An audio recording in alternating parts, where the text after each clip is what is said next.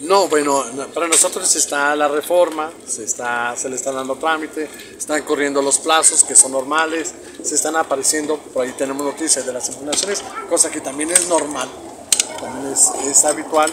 Y bueno, nosotros simplemente estamos a la expectativa esperando cómo se van presentando las situaciones. Pero nada más, porque no tenemos una participación directa.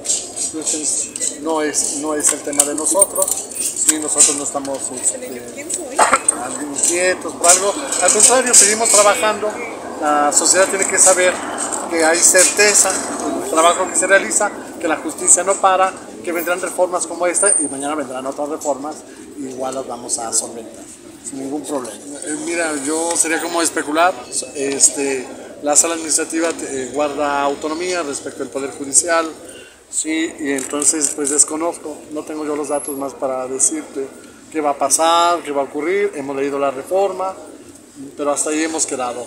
Va a haber algunas impugnaciones, no lo sé, no está en nuestras manos todo eso. Hay que recordar que la reforma entró en vigor y que hay cosas que ya se están haciendo, como lo hicimos nosotros en el Poder Judicial, como fue la rotación de los jueces. Nosotros simplemente estamos esperando los tiempos, las etapas, para que el Poder Judicial cumpla con lo que le corresponde hacer. Pero cosas que eran de inmediato, como la rotación, nosotros ya lo hicimos.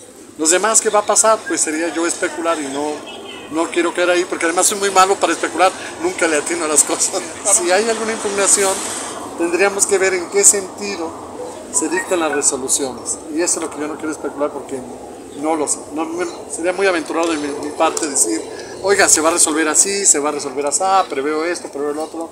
La verdad es que no tengo yo noticia.